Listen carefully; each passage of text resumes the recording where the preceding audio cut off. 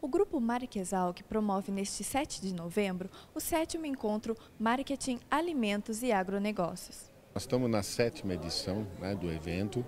É, basicamente é dissociar, acumular, discutir, trocar experiências e conhecimentos sobre marketing no agronegócio. Né? Até discuti aqui apresentei logo no início toda a série, né, todos os eventos que a gente promoveu, desde o primeiro, que foi em 2007, e o marketing no agronegócio evoluiu bastante. Né? Não só o agronegócio, mas o marketing em termos profissionais e as ações que vêm sendo realizadas pelas organizações mudou bastante. Então a, a contribuição desse evento é bem desse sentido, de tentar acompanhar essa evolução e a gente tem uma perspectiva até de crescimento desse evento, que em 2015 a gente possa também fazer um evento científico em que trabalhos né, que discutem essa área, né, esse, essa temática do marketing no agronegócio possam ser também socializados. Esse tipo de evento é fundamental. Se você for olhar o volume de público, o perfil do público, ele é extremamente relevante.